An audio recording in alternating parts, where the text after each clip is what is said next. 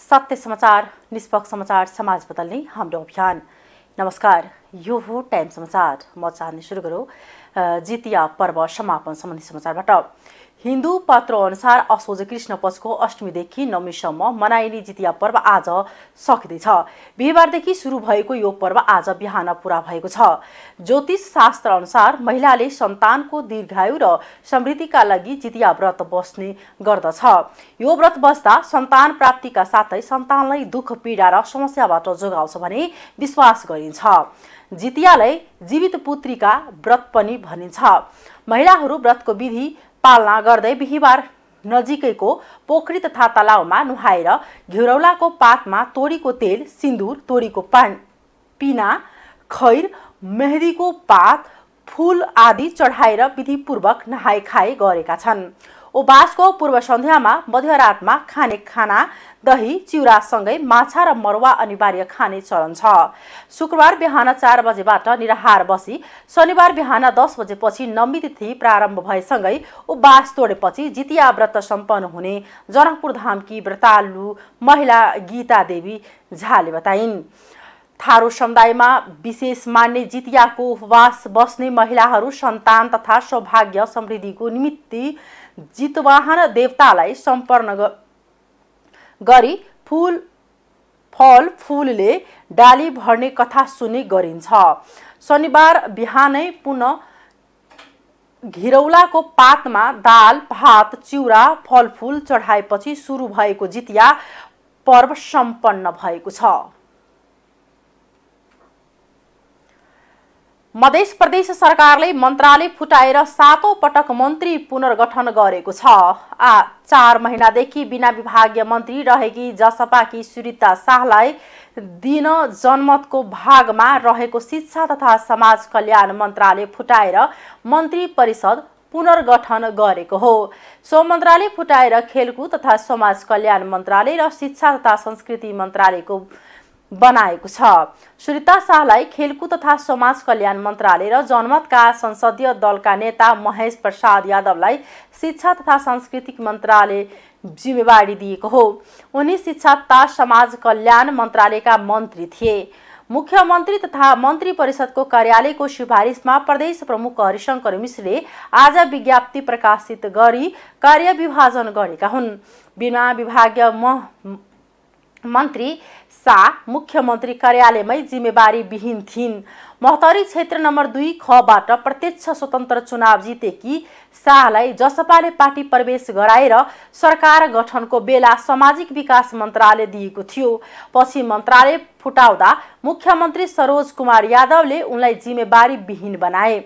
मधेस सरकारको पहिलो गठनको बेला मुख्यमन्त्री सहित सात मन्त्रालय मात्र थिए। जसपा विभाजनको बेला तत्कालीन मुख्यमन्त्री लालबाबु राउतले मन्त्रालय फोडेर दसवटा पुर्याएको थियो। गत वैशाखमा शक्ति सन्तुलन मिलाई मन्त्रालयहरू फोडेर नयाँ नाम कायम गरी समायोजन गरेर दसवटा नै राखिएको थियो। प्रत्येक वर्ष जस्तै यस वर्ष पनि जनकपुर धाममा विजय दशमी लक्षित सस्तो बजार लाग्ने भएको छ। यस अघिका दिनमा धनुषाको प्रमुख जिल्ला अधिकारीको अध्यक्षतामा लाग्ने मेला यस वर्ष उद्योग वाणिज्य सङ्घको अध्यक्षता र अगुवाईमा लाग्ने भएको छ।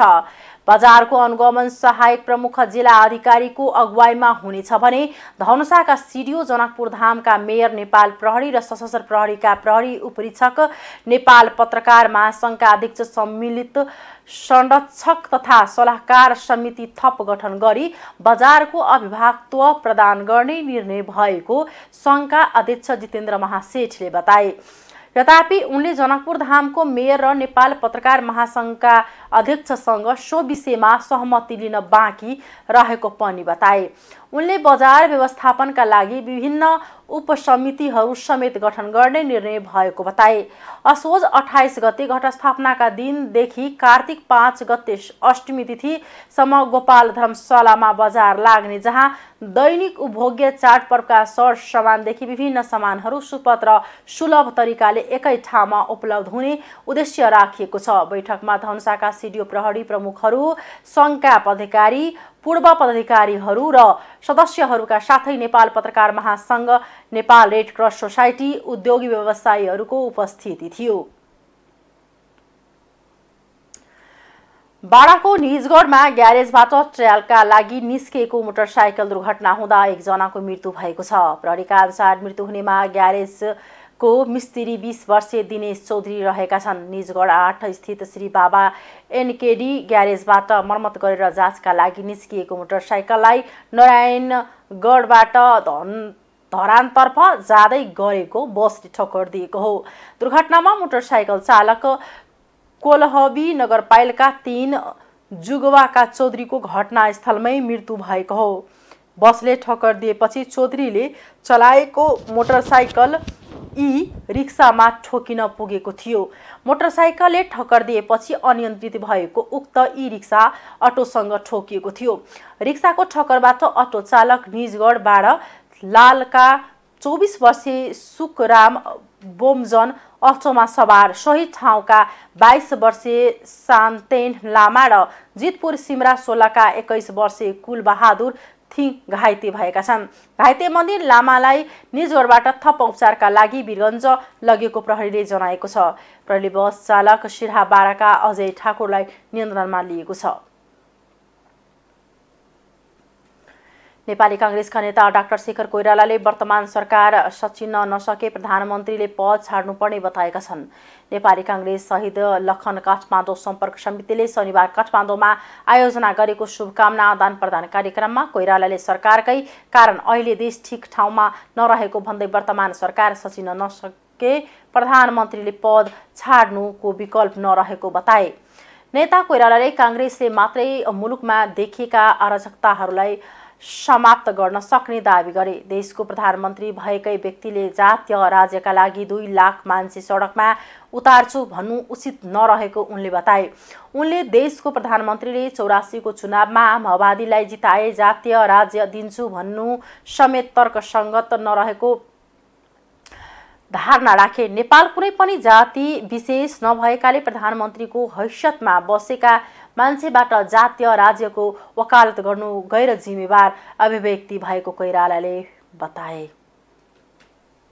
आर्थिक समाचार।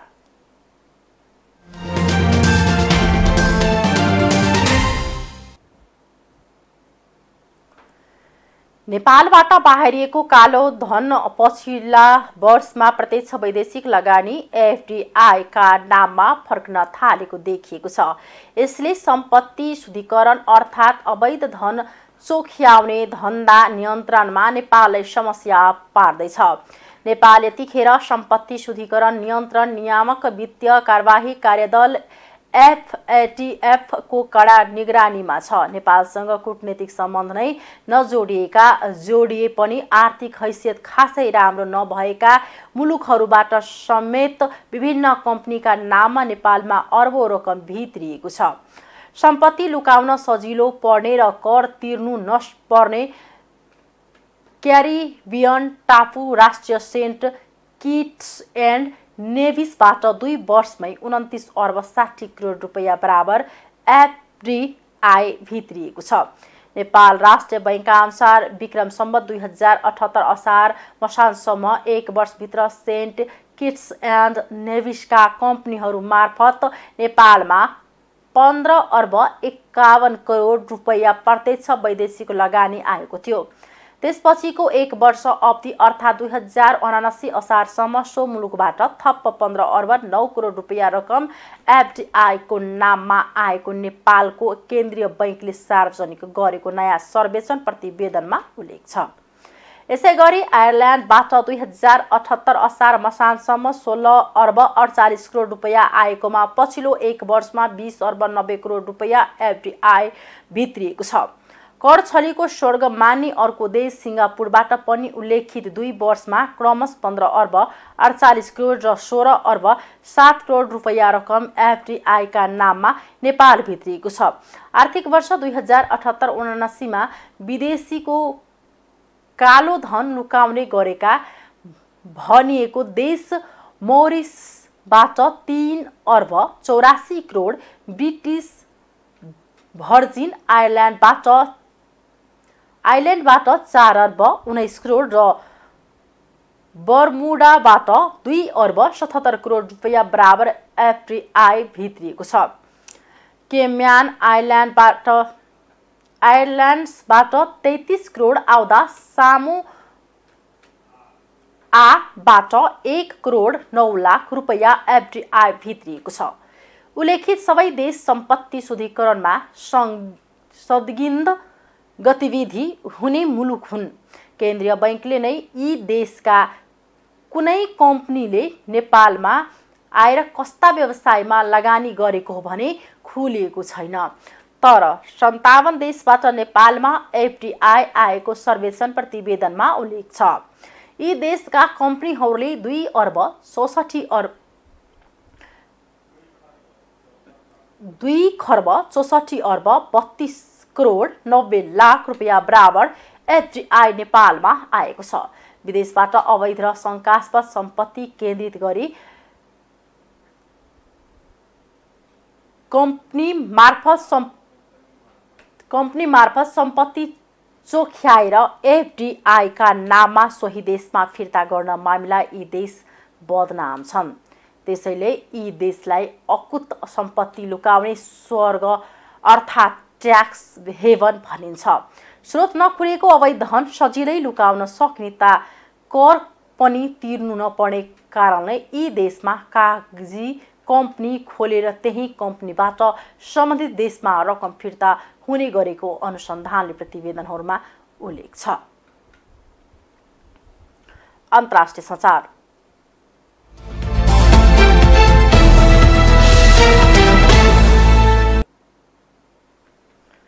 भारतको पूर्वी राज्य ओडिसामा स्क्रब टाइप्सको सङ्क्रमण बढ्दै गएको छ। सङ् माफ गर्नुहोला स्क्रफ टाइफस बढ्दै गएको छ। सङ्क्रमण फैल्न थालेपछि स्वास्थ्य विभागले परीक्षणलाई तीव्रता दिएको भारतीय सञ्चार माध्यमले जनाएका छन्। स्क्रफ टाइफस ओरियन्टिया सुत्सुगामुसी नामक ब्याक्टेरियाबाट हुने रोग हो। डाक्टरको अनुसार यो सङ्क्रमण जङ्गली जनावरमा हुने किर्ना वा जुम्राको टोकाइबाट सर्ने गर्छ। स्क्रफ्स टाइफसको सामान्य लक्षण ज्वरो आउने टाउको दुख्ने शरीर दुख्ने र कहिलेकाहीँ जिउ चिलाउने हुन्छ। ओडिसाका स्वास्थ्य सेवा निर्देशक निरञ्जन मिश्रका अनुसार मिल्दोजुल्दो लक्षणबाट आठजनाको ज्यान गएपछि अनुसन्धानलाई तीव्र पारिएको छ। उहाँका अनुसार यस वर्ष पनि उडिसा राज्यमा स्क्रब्स टाइफसको सङ्क्रमण बढेको छ। गएको वर्ष त्यहाँ झन्डै एक हजार पाँच सय सङ्क्रमित भेटिएका थिए। सङ्क्रमणको सुरुवाती चरणमा रोग पहिचान हुन सकेमा सामान्य एन्टिबायोटिकको प्रयोगबाट उपचार गर्न सकिन्छ। तर सङ्क्रमण जटिल अवस्थामा पुगेमा बिरामीको जाने जाने जोखिम हुने निर्देशक मिश्रले बताउनु भएको छ। इजरायल र हामस बीच बिहानैदेखि गोलाबारी चलिरहेको छ। बिहानैदेखि दुवै पक्षबाट ठुलो मात्रामा गोलाबारी र रकेट हानाहान भइरहेको छ। जवाफी कारवाही गरिरहेको इजरायलले युद्धका लागि तयार रहेको घोषणा गरेको छ। गाजा पट्टीबाट रकेट आक्रमण र इस्लामिक लडाकु समूह हमासका बन्दुकधारीहरू प्रवेश गरेपछि इजरायली प्रतिरक्षा फौज आइडिएफले युद्धका लागि तयार रहेको घोषणा गरेको बिबिसीले जनाएको छ। इजरायली सेनाले निकालेको विज्ञप्तिमा इजरायल युद्धका लागि तयार देशका रूपमा घोषणा गरेको उल्लेख छ। आइडिएफले देशका दक्षिण र मध्यम क्षेत्रका बासिन्दाहरूलाई सुरक्षित क्षेत्रको नजिक रहन र गाजा वरपरका बासिन्दाहरूलाई सुरक्षित अवस्थामा रहन रहन भनेको छ। आइडिएफले गाजा पट्टीमा जवाफी आक्रमण गरिरहेको बताएको छ। हमासले गरेको अप्रत्याशित आक्रमणको झन्डै दुई घन्टापछि आइडिएफले जवाफी आक्रमण सुरु गरेको हो। गाजा पट्टीबाट इजरायलतर्फ हमासले गरेको रकेट आक्रमणमा परि मर्ने सङ्ख्या चारजना पुगेको छ। हमासले आफूहरूले बिस मिनटको अवधिमा झन्डै पाँच हजारवटा रकेट आक्रमण गरेको बताएको छ। सन् दुई हजार सातमा हमास सत्तामा आएपछि इजरायलले गजामा प्रतिबन्ध लगाउँदै आएको छ। त्यसयता प्यालेस्टिनी लडाकु र इजरायल बीच पटक पटक युद्ध भएका छन्। हस् अहिलेको लागि टाइम्स बजार यति नै। हेर्दै गर्नुहोला टाइम्स टेलिभिजन। म छान्ने बिदा चाहन्छु। नमस्कार।